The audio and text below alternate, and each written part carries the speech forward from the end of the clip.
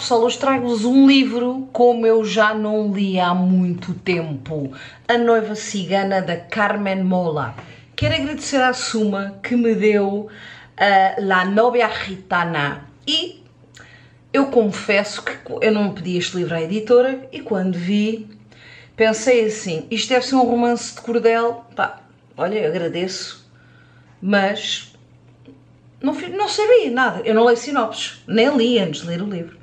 Mas depois, ao mesmo tempo, fiquei aqui com uma curiosidade e vi a review da Maria João Covas e pensei, ah, ela deu 5 estrelas e disse que era espetacular, que era brutal. E o meu cérebro tem uma coisa boa que é. Eu ouvi, eu ouvi o vídeo dela, mas o meu cérebro não retém a sinopse, não retém o que é que ela disse sobre a história, desliga logo mas retive tudo o que ela disse sobre a qualidade do livro. E eu fiquei muito curiosa. Digo já que eu devorei, devorei este livro em dois dias. Eu hoje deu, hoje é sábado, deu uma insónia, acordei um 5 e tal, 5 e 20, terminei. Foi uma leitura conjunta com a Vanessa Miss Livrings e com a Sandra. Uh, e foi muito rápida, quase que nem deu para nós falarmos umas com as outras sobre o livro, porque eu terminei, acho que como vos disse, depois eram seis e tal da manhã, escrevi lá no grupo. A Vanessa de manhã, tipo 10 da manhã, terminei. E a Sandra, pá, esperem por mim. Sabem quando eu digo uh, aquele adjetivo que neste vídeo não posso dizer, que atribuo aos policiais nórdicos? Os policiais nórdicos, ao pé deste livro, são livros infantis, são livros para meninos. Este livro é do mais fucked up que eu já li nos últimos tempos. Digo só uma coisa: há uma menina, uma menina, uma rapariga que está novia, está noiva, uh, e o livro começa com a despedida de solteira dela, a noite de despedida de solteira e ela de madrugada, de manhã, é encontrada num parque em Madrid. Isto é tudo passado em Madrid. Espetacular, espetacular. A tradução de puta madre. Espetacular. Ela é encontrada deitada, com o cabelo uh, cortado. Estou na dúvida porque, pronto, pera, mas assim, acho que tem o cabelo rapado, com os furinhos feitos com um berbequim, com larvas dentro do cérebro e moscas ou seja, o mal ou a má, deixaram larvas uh, a sair da cabeça que lhe foram comendo o cérebro. E o que é que se descobriu? Veio-se descobrir que há uns anos atrás um familiar desta menina morreu da mesma maneira. Foi deixada durante, essa familiar foi deixada durante uma semana, mantida viva, com larvas a, a reproduzirem-se, a fazerem casulos e moscas e não sei o que dentro do cérebro. Só que não, não, não vos quero dizer mais nada, só me basta dizer isso. Não, não vou dizer, o que eu ia dizer a seguir não era spoiler, aposto que está na sinopse, mas eu não quero dizer mais nada, não preciso dizer mais nada, eu acho que isto basta.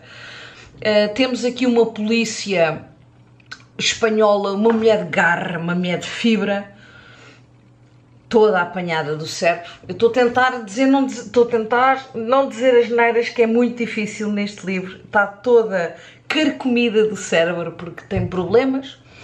Bebe um bocadinho e é assim, policial para mim tem que ter, o detetive principal tem que carregar no álcool, senão não é um bom policial.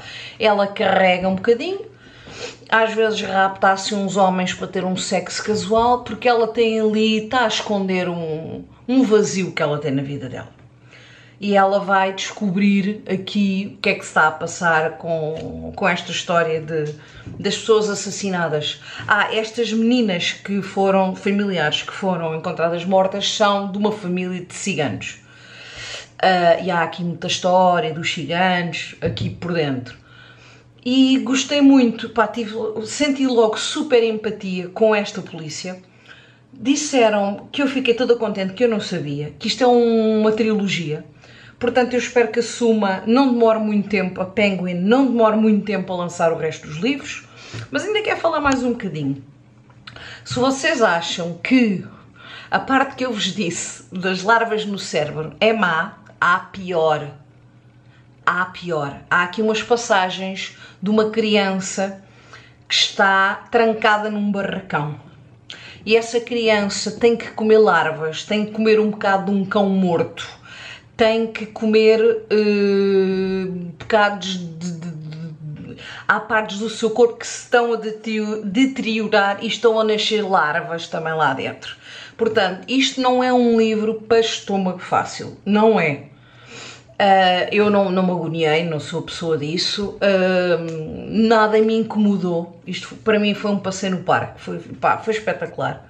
Mas aviso já, aviso à navegação que quem for sensível estas coisas, o livro é mesmo muito, muito gráfico, muito violento. Mas digo-vos já, digo-vos já que para mim está no top 5 dos melhores livros que eu li este ano. Na boa.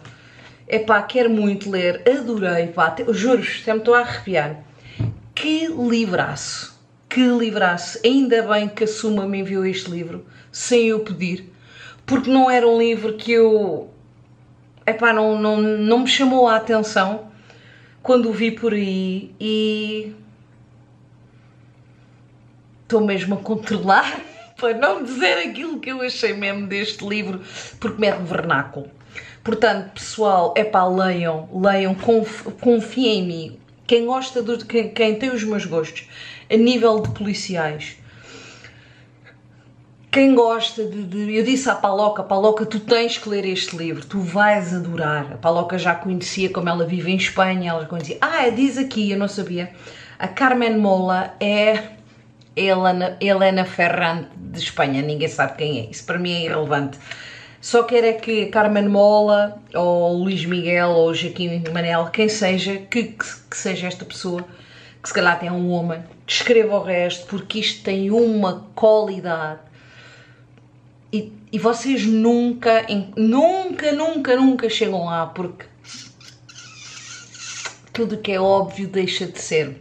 Um livro muito inteligente, 5 estrelaças, porque não há mais, porque isto é um livro de 6 estrelas e eu estou tão excited que vou já pôr o vídeo agora. Já pus, já pus um hoje, mas eu tenho que partilhar isto com vocês a quente e não gravei o vídeo às 6 da manhã, não estava em condições. Mas agora tem que ser. Confiem em mim e leiam este livro.